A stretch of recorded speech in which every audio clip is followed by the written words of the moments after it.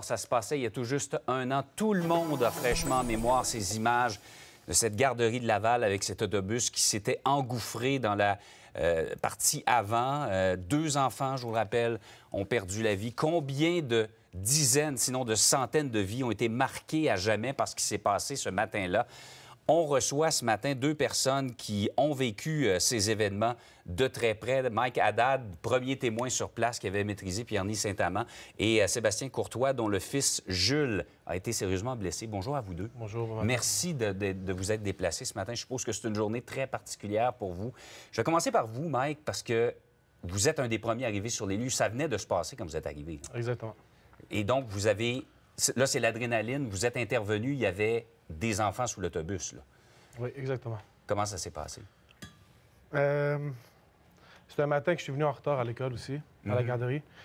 Et euh, quand c'est arrivé, ben, c'est juste les cris puis les enfants. Fait que, réaction rapide. On est rentré puis on a fait ce qu'on pouvait. Mhm. Et, pendant, et vous avez également, euh, Pierre-Ny Saint-Amand, le chauffeur était... Vous l'avez maîtrisé. Là. Non seulement vous avez sauvé les enfants qui étaient en dessous. D'ailleurs, il y avait combien d'enfants en dessous? À Je peux pas dire, c'est un peu difficile, Ouais. mais il y avait peut-être 6 à 8 enfants, peut-être, d'après ce que je pense. Dont, dont Jules. Dont Jules. Sébastien, Jules, comment il- euh, parlez-nous des blessures qu'il a subies euh, ce matin-là. Il a eu euh, mul- des multiples euh, blessures, euh, la plus grave étant euh, une fission du drôme de la vessie, donc il a dû être euh, opéré d'urgence. Euh, plusieurs dermabrasions, plusieurs hématomes, plusieurs. euh, il a eu aussi un pneumothorax, un traumatisme crânien. Mais euh, l'homme qui est assis à ma droite a fait en sorte que mon fils soit malheureusement le, le dernier à être secouru en vie. Et Ah, Voilà. Jules, c'est le dernier à avoir été secouru en Ouais. vie euh, dessous l'autobus. Mais ça a été un long cheminement vers la guérison. Parlez-nous de la dernière année pour Jules.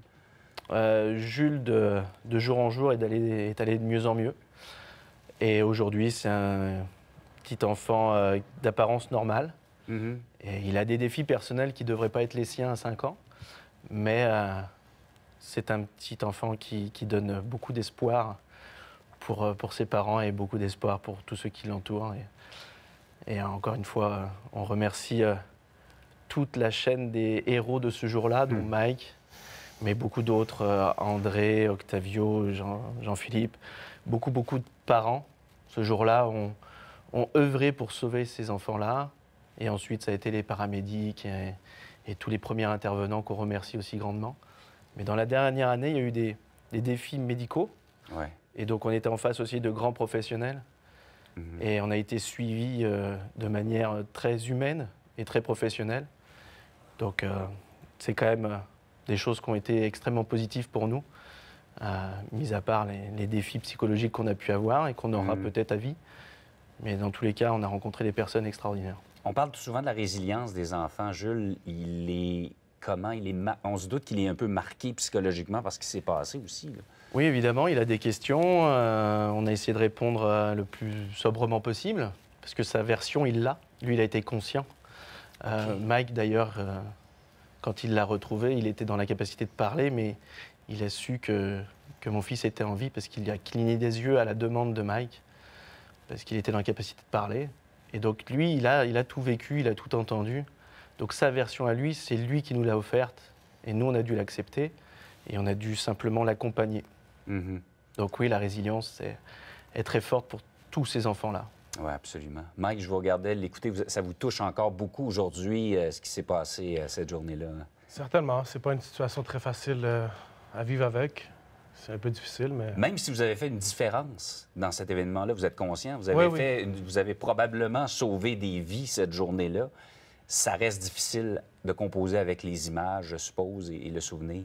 C'est sûr que maintenant, ça, ça fait un an maintenant, fait que le- les nouvelles, tout ça, ça, ça revient en- dans la tête, mais on vit chaque jour comme que. On vit chaque jour comme que c'est, c'est le dernier. là.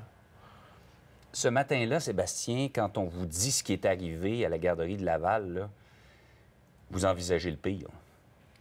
Hein, on ne peut pas dire comme on me l'a appris, c'est ma femme qui me l'a appris, parce que la première, le premier témoin sur place, c'est un de nos amis. OK. Et euh, il a appelé euh, la maman de Jules parce que le bus a défoncé la baie vitrée où se trouve Jules Mhm. et tous ses amis. Et lui, le sachant, ça, il a appelé la maman, donc ma femme. Et ma femme m'a avisé qu'il y avait un, un bus qui était rentré dans la garderie. À ce moment-là, il n'y a aucune, euh, aucune hésitation. On sait que ce n'est pas un accident. Ça ne peut pas être un accident. Puisque la garderie n'est pas au bord d'une route. Exact. euh, qu'un bus, s'il est accidenté, il aurait percuté des, des véhicules Mhm. euh, sur le stationnement qui est en amont de la garderie. Donc euh, on imagine le pire, surtout quand ma femme arrive sur les lieux et que elle constate, elle constate que dans la salle où il y a tous les enfants, bah, le sien est manquant. Il en manque trois et mon fils, heureusement pour nous, mais malheureusement, c'était le dernier à être sorti vivant de, des, des décombres. Ça aussi, vous, a- vous aussi, vous avez besoin d'aide euh, pour vivre avec ça depuis un an. hein? Vous êtes, euh, avez-vous, avez-vous de l'aide de, de- On- oui, oui, oui, on a eu des, on a des défis psychologiques. Ma, ma femme en a eu en instantané. Mm. Donc elle a pu faire les demandes euh, qui nous avaient été proposées, elle a pu les accepter. Il y avait plusieurs propositions. Euh, le tout, c'est qu'il faut faire, euh, il faut faire preuve de beaucoup de, de sang-froid parce qu'on nous demande de prendre des décisions rapidement, parce que ça va décider aussi du processus qui va être mis en place pour nous. Euh, on a des choix à faire, on a des voilà dans, dans une situation qui est complètement hors de contrôle. On nous demande de reprendre le contrôle très rapidement et de faire des, bonnes, des bons choix. Ouais. Parfois, c'est un peu déroutant. Et il nous manque peut-être cet intermédiaire pour nous expliquer, nous étant immigrés, on n'a pas les connaissances du système de santé québécois. Mhm. Peut-être même les Québécois eux-mêmes, les citoyens, n'ont pas connaissance d'aide, de l'aide aux victimes parce qu'on Mhm. n'est pas tous victimes. Exact. Et quand on découvre euh, le fonctionnement, on se dit que le système, parfois, mérite un peu plus d'humanité, un peu plus de considération. Mhm. Par contre, je le tiens à le dire, c'est un système qui manque d'humanité dans sa fonctionnalité, Mais c'est pas les gens. mais c'est pas les gens. Les gens on sont très, très différence. humains et très, très professionnels. Mike, euh, vous, je sais que c'est une des dernières fois que vous voulez en parler publiquement là, de, de- de ces événements-là. Comment vous avez, euh, la dernière année, vous êtes allé chercher de l'aide? Vous avez... Parce qu'il y, y a quand même deux enfants qui sont morts. Euh, Il doit y avoir cette, à la fois cette joie d'avoir sauvé des vies, d'avoir son enfant s'en tirer, mais en même temps, cette culpabilité de dire il y, a deux, il y a des parents qui ont perdu leur enfant. Comment vous avez vécu ça? J'ai vécu, euh, on va dire comme tout le monde, un peu difficilement, c'est Mm. sûr. Euh, c'est tragique. Euh, c'était difficile de retourner au travail. C'était difficile un peu avec la famille. Un peu de colère souvent qui sort. Fait que c'est juste se contrôler un petit peu, de voir le positif des côtés de la vie un peu. Fait que, faut apprendre à vivre avec tout ça. Ben, Merci beaucoup à vous deux d'être venus nous en parler. Bon courage. Je sais que. euh, bon courage à Jules également. Euh, c'est pas évident de, de- de traverser une épreuve comme celle-là. C'est un choc pour tout le monde. Merci beaucoup d'avoir été là et, et bon courage pour la merci. Merci beaucoup.